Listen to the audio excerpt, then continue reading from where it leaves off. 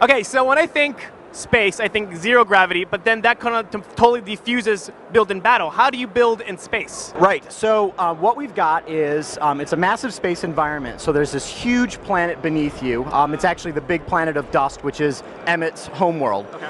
Um, and then in orbit are these large space stations. They have grav generators.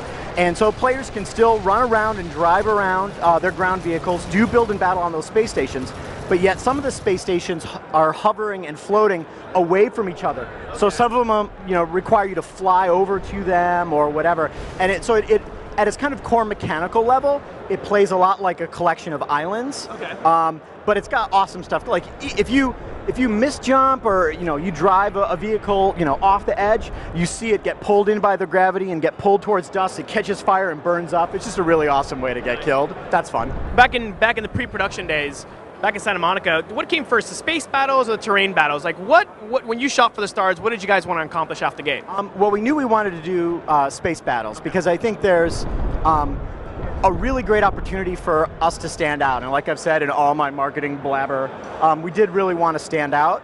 Um, and so doing really great space battles was key. But we did actually start with the terrain stuff first because we actually had to really um, refine our process to build these they are enormous hand-built structures. It's not just rolling terrain. That stuff is great and beautiful and players love it.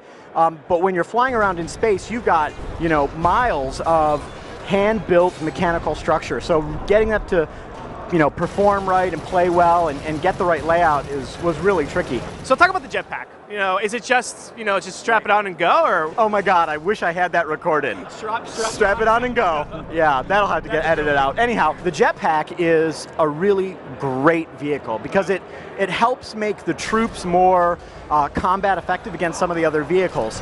And you know, players really loved the jetpack that we did in Warhawk, but it was an expansion pack. You had to pay extra to get the jetpack. But people loved it so much, and it became such a critical part of how players traversed all our environments that we said, screw it, you know, let's let's go ahead, let's find the memory, let's put that in the base set of vehicles so that everyone's got it right from the get-go. I'm going to close off with the fact that I'm a huge fan of your Twitter. I follow a lot of developers, but you, my friend, do it right because you're showing ah. Behind the scenes stuff. Obviously, sometimes Sony makes me blur out certain things because I understand how that goes. But just showing, you know, pictures of people playing or what they're working on. I think it's cool, and it lets people lets people see uh, behind the curtain. Right on, man. That's why I love talking to you, man. All right. Always a pleasure, dude. Enjoy your stay, right. and congratulations. And I think this interview was brought to you by the phrase, just strap it on and go.